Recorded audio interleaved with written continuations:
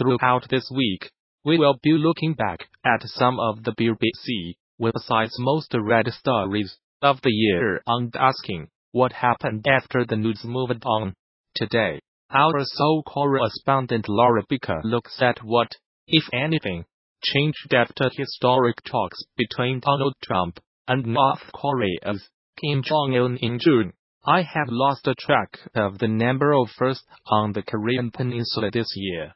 The most obvious was the first United States North Korean summit in Singapore in June.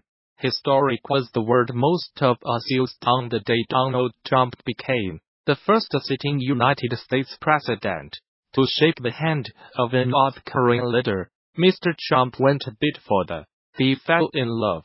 He announced at a political rally. The summit held so many possibilities that Donald Trump succeed where others, for decades, had failed and get North Korea to give a peace bombs. The short answer is no. We were told in a tweet by the president that North Korea no longer posed a nuclear threat.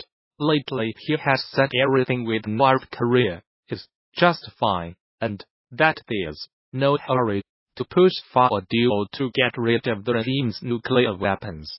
That's fine. Problem solved, Aaron. Not quite. Let's remind ourselves about the overall objective. North Korea has nuclear weapons which many believe are capable of threatening the United States. Mr. Trump made it one of his key foreign policy aims to end the era of strategic patience that the Obama administration had favored with North Korea. His policy was maximum pressure, strict economic sanctions to isolate the regime, there seems to be a belief in parts of Washington that Kim Jong un came to Singapore because of those sanctions and Mr. Trump's threat of fire and fury. But North Korea came to that meeting in a position of strength. Pyongyang's view may be that its nuclear capabilities won them up somewhat with the United States president. And while Mr. Trump boasts about his relationship with Mr. Kim, Pyongyang and Washington have not been brought closer by the summit. They have grown further apart. The short statement agreed between the two leaders was incredibly vague, which has meant the two sides have argued over its interpretation. To North Korea, the denuclearization of the Korean peninsula does not mean that it alone gives a peace arms. The regime wants reciprocal action from the United States and so far, there is no sign they are going to get it. North Korea also seems to believe that it was given an assurance by Mr. Trump that the United States would agree to sign a formal declaration ending the Korean War by the end of this year. However, many in Washington oppose this idea, as they believe it would be far too great a concession at this stage. Very few face-to-face talks have taken place since the Singapore summit. The North Koreans cancelled a planned meeting in New York in November with the United States Secretary of State, Mike Pompeo, just hours before the announcement. Mr. Pompeo had said he hoped he could make real progress.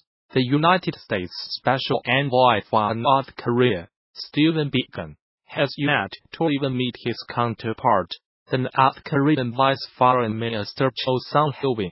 Despite several attempts, Pyongyang has also issued a number of blistering statements condemning the sanctions imposed by the United States. The latest came after the United States placed sanctions on three top North Korean officials, one of whom is a close aide to Kim Jong-un.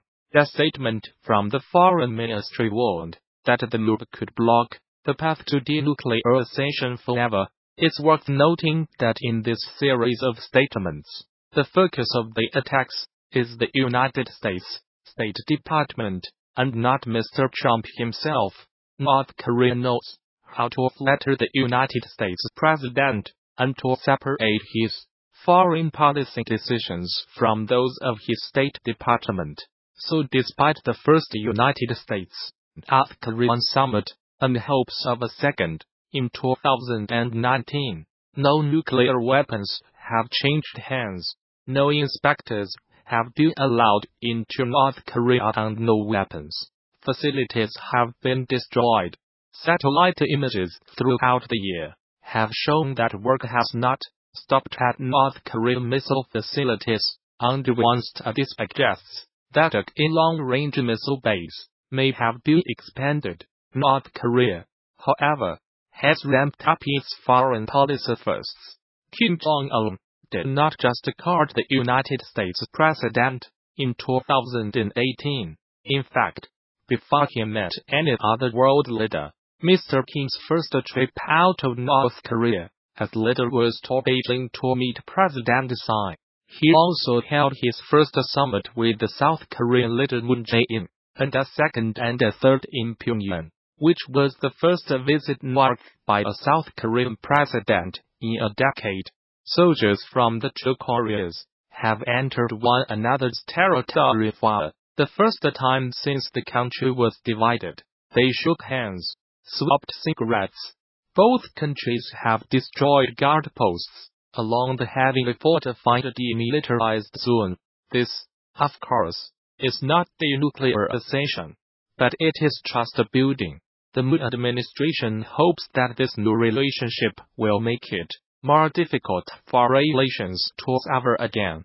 On New Year's Day, Kim Jong-un will address his nation and outline his priorities for 2019. Seoul and Washington will be watching closely. Many analysts believe that both countries will at some point have to come to terms with a nuclear North Korea. That despite the sanctions and the summits, Pyongyang's nuclear program is not going anywhere. But I doubt that President Moon or President Trump will want to be the first leader to admit that. Two Scandinavian women tourists have been found dead in Morocco, with cords to their necks, the country's interior ministry said. Both bodies were found near the town of Imlil in the High Atlas mountain range, near the foot of North Africa's highest peak, Mount Toubkal. The women, from Denmark and Norway respectively, have not yet been named. A police investigation has been launched into their deaths. The Interior Ministry statement said, a popular tourist attraction has become the latest Chinese company to show solidarity with Huawei's chief finance officer, Meng Wanzhou, who was arrested in Canada on 1 December. Shennong Mountain Scenic Park in eastern Hainan province said it would waive the $9, 65 yuan ticket fee for anyone carrying a Huawei phone. Miss Meng, who was given bail in Canada, faces extradition to the United States on charges of breaking Iran sanctions. Her case has upped tensions with China. Use Huawei phones. Shoot grand photos on the mountain. A notice on the Shennong Park's social media account said, We wish friends around the world who support Huawei's success and bliss. The offer would last until 29 December. The South China Morning Post reported that it was met with some criticism among China's social media users, who claimed it was discriminatory. Huawei phone owners are being offered other enticements too. They can get a 20% discount at a bar in Beijing. Seen in Beijing, bring a Huawei ah phone and get 20% off. Similar to this story we covered yesterday https t QQXL19YPQL pic. Twitter. Com Sokolov. End of Twitter post by Atlu Oceanji. At least one firm has threatened to penalize anyone buying Apple products. A few days ago, Manpada Shenzhen, based LED and display manufacturer offered subsidies to any employees buying Huawei phones. It also pledged to fine anyone who bought an Apple iPhone. United States prosecutors alleged Ms. Meng 46 used the Huawei subsidiary called Skycom to evade sanctions on Iran between 2009 and 2014. They also alleged she publicly misrepresented Skycom as being a separate company from Huawei, and that she deceived banks about the true relationship between the two companies.